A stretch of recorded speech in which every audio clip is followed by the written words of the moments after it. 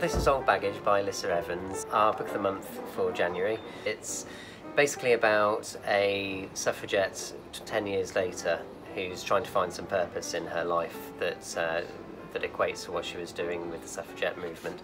And she, uh, she builds a kids group to try and spur on the next generation. It gets quite intense from the time period, but not without losing its sense of fun.